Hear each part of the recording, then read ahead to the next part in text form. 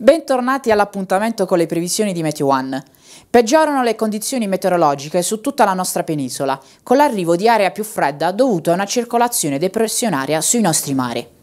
Peggioramento che sarà sensibile sul centro-nord con piogge estese e di forte intensità.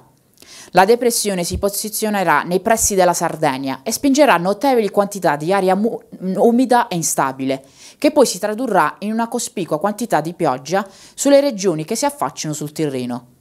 Nel contempo, il vortice ciclonico favorirà l'afflusso di aria più fredda dalla Francia, che gradualmente farà calare le temperature su tutta la nostra penisola. Ma ora andiamo a vedere nel dettaglio il tempo sulle nostre regioni per domenica 5 febbraio. Al mattino cielo parzialmente nuvoloso su entrambe le regioni, nubi più compatte sulla Basilicata occidentale, dove il cielo tenderà ad essere nuvoloso.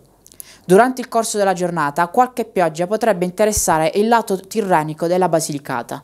Altrove invece permarranno condizioni stazionarie con la presenza di nubi alte ma senza fenomeni.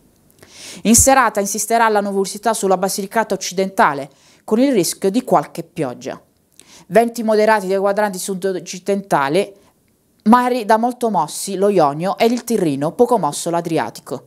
Temperature che, come possiamo vedere dalla grafica, subiranno una lieve flessione di 1-2 gradi.